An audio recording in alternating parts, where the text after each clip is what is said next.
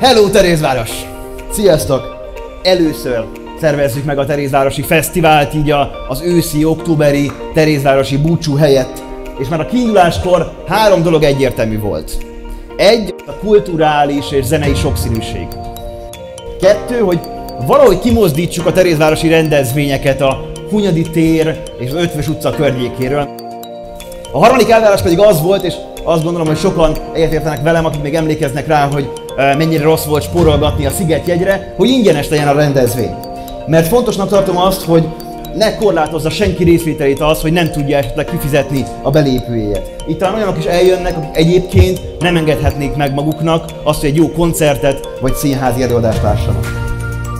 Végül pedig szeretném megköszönni minden előadónak és minden résztvevőnek azt, hogy itt lesznek a következő néhány napban, de elsősorban az Ötvös Tíz csapatának és Gálvegyi Dorkának, hogy hónapokon keresztül szervezték ezt a rendezvényt. Köszönöm a figyelmet és jó szórakozást!